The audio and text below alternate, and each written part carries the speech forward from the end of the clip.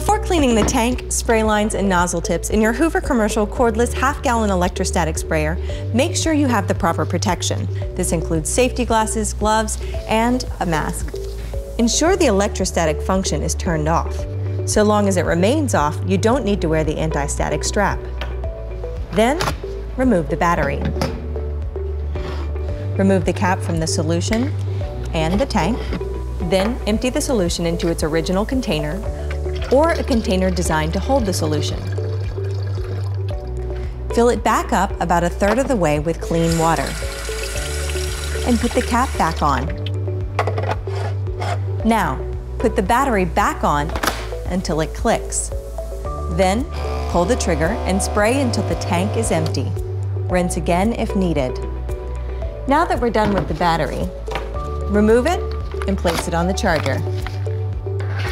Wait at least five minutes after removing the battery before touching the nozzle tips. To clean them, use the T-handle nozzle tool to remove them. Soak the nozzle tips in soapy water for five minutes. Then, rinse them off and set them aside to dry.